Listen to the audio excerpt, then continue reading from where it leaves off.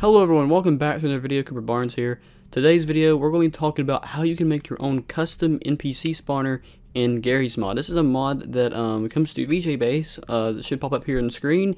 Uh, link to this mod is in the description. Uh, will allow you to have NPC spawn in your game. Now, people have also put in my previous video I made, this is basically a remake of it, um, they've asked me, well, can you spawn them in servers? Now, honestly, I do believe they do work in servers, but I don't believe, like, if the server shuts down and turns back on, I don't believe they will save. You'll have to like go back in there and do it yourself. That makes sense, but they should stay on the server as long as the server is online. So yeah, so number one, um, you just gonna you're gonna have to basically have VJ Base, and then you should have this option called DrVrej. Click on DrVrej, and then click right here and put in spawner or just SP, and it should you know search it up. If this is like oh, like a long time from the updated version of this, it may be different. But yeah, so you see that right here, um, I have custom settings here, but you can change these to what you want. Um, really, for forward, I would prefer only 50. I mean, really, you don't have to really do anything with forward, but I just prefer 50 because it makes them not spawn on top of you when you spawn them.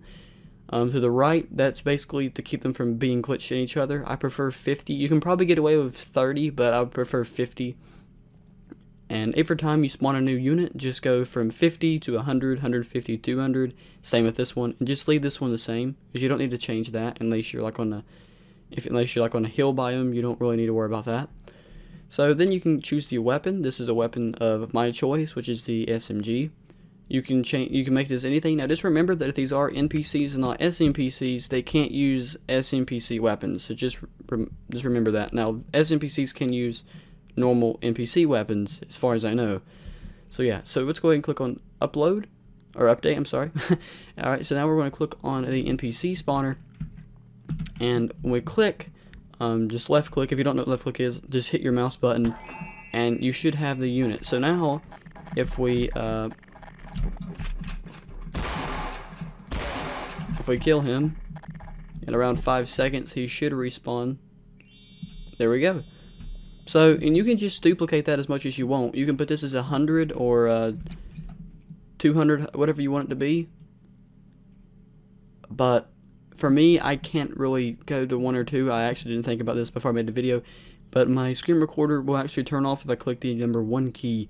So I can't really put 100, but I could put 200 or whatever. But if, but for you, I mean, I already showed you how to do it. So I already showed you how to do it. So um, just put in 50 for your first and then 50 55 and then put 100 105 150 155 200 205 and so on. So if you're if you don't if you want to learn how to make them in rows um, really I don't believe you can really do that at the moment but I do know that you can do this right here for instance. Let me just go ahead and click on it again.